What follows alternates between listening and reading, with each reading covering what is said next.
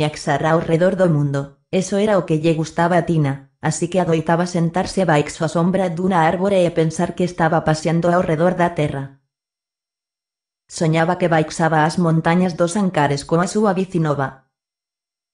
Soñaba que viaxaba a través do canal da Mancha en busca de practicar o seu pobre inglés. Pero cando despertaba dos seus soños, o que máis lle gustaba era pasear con Linda a súa canciña.